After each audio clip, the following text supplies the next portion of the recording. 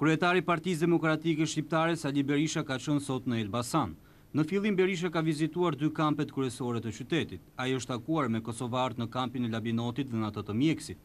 Berisha ka shprehur gatishmërinë e tij dhe atë të Partisë Demokratike të ndihmojë kosovarët e strehuar në këto kampe. Gjithashtu, Berisha ka falënderuar dhe ushtarët e NATO-s që kanë bërë shumë për refugjatët kosovarë. Pas vizitave në kampet e refugjatëve, Berisha dhe drejtues të tjerë të Partisë Demokratike janë takuar në një aktiv të zgjeruar me demokratët elbasanas. Berisha Rugova, Shqipëria Kosova ishte dhe parrulla e këtij aktivi ku demokratët e Elbasanit bashkë me Berishën shprehën mbështetjen e plotë për popullin kosovar për Rugovën dhe dënuan qarqe të caktuara që sipas tyre s'janë gjë tjetër veçse aleatë të Millosheviçit.